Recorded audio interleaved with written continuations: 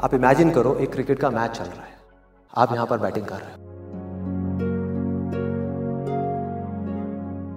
ये लाइफ का गेम है क्रिकेट का गेम नहीं है। क्रिकेट से रिलेटेड है, मैं आपको एग्जांपल दे रहा हूँ, लेकिन ये ज़िंदगी है। आप यहाँ पर बैटिंग कर रहे हो, पीछे कोई विकेट्स नहीं है, कोई विकेट कीपर नहीं है, कोई और प्लेयर्स नहीं है। सामने से लाइफ है।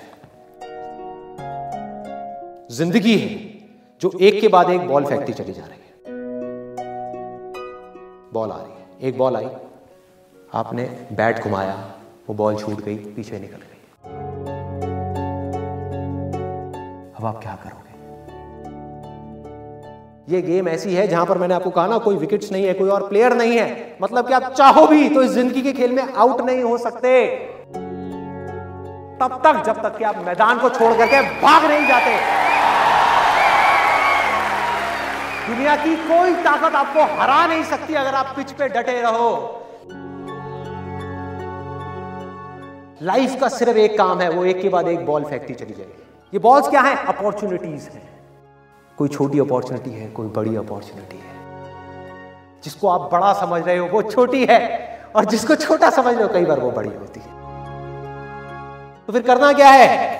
पिच पे डटे रहना है। एक बॉल निकल गई, कोई बात नहीं। भाई शॉट लग जाता तो बढ़िया था, नहीं लगा, और बढ़िया है, कोई दूसरी बॉल आ रही है। देखो, खेलो, अपना ध्यान पिच के ऊपर रखो लाइफ की तरफ़ रखो।